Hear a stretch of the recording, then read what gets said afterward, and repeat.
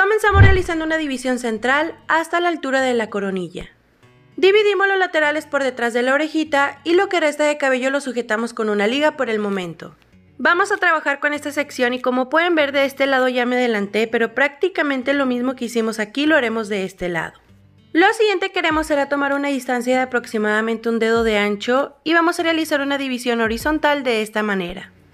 Vamos a tomar una distancia de aproximadamente 4 dedos de ancho y ahí donde marque realizamos una división. Y como resultado nos tiene que quedar un pequeño rectángulo. Y ahora separamos esta sección con una liga por el momento.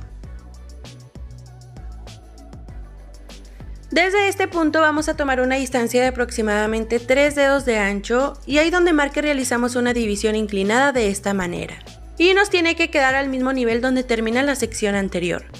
Y ya una vez que hemos realizado la división vamos a separar la sección con una liga por el momento y lo que resta de cabello también.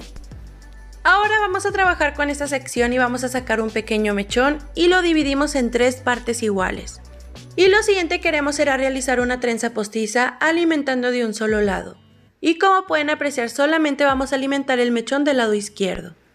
Vamos a procurar ir tejiendo sobre la línea que trazamos para que la trenza nos quede bien alineada. Y también es muy importante ir tomando alimentos pequeños para que la trenza se vea más finita y de esta manera se vea mucho más bonita.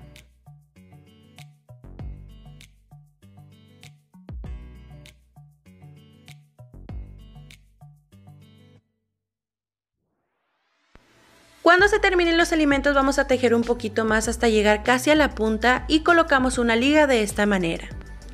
Ahora vamos a trabajar con esta sección y sacamos un pequeño mechón y lo dividimos en tres partes iguales. Vamos a tejer una trenza postiza alimentando de un solo lado y al momento que vamos tejiendo vamos a tratar que la trenza nos quede justo en el centro. Es muy importante que los alimentos que vamos tomando sean delgados y de la misma proporción para que la trenza se vea mucho más bonita.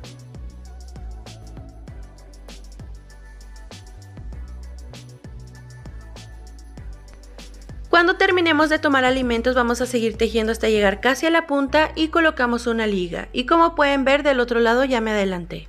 Lo siguiente queremos será soltar el cabello de los laterales y de la parte de atrás.